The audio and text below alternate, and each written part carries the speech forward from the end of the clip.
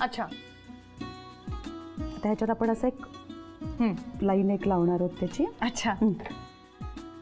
आणि आपण याचा छान असा घट्टसा रोल करून घेणार आहोत. म्हणजे बाहेर येणार नाही दाबून जरा. अच्छा अच्छा. हा. वाव.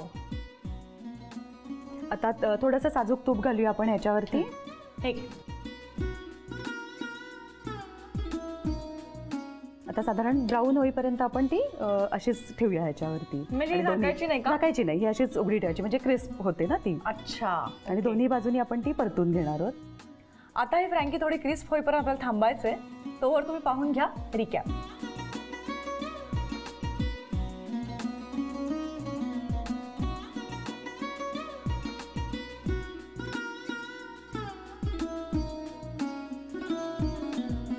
दोन्ही पदार्थ तयार झालेले आहेत. त्याबद्दल एक महत्वाची गोष्ट मुक्ताताई आपल्याला सांगणार आहे. हे हा जो पदार्थ आहे नाचणीचे पॅनकेक तर तो एक ग्लुटेन फ्री पदार्थ आहे. तर हा एक खूप चांगला ग्लुटेन नसलेला पदार्थ आहे गहू नसल्यामुळे. अच्छा. आणि आपण जी फ्रँकी केली. तर ती आपण राजगिराच्या भाकरीची सुद्धा करू शकतो.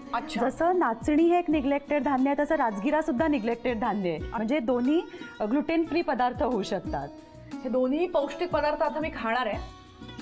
नाही चव घ्यायला मी उत्सुक आहे.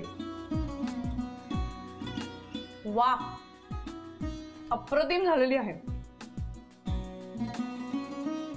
हम्म. आवडले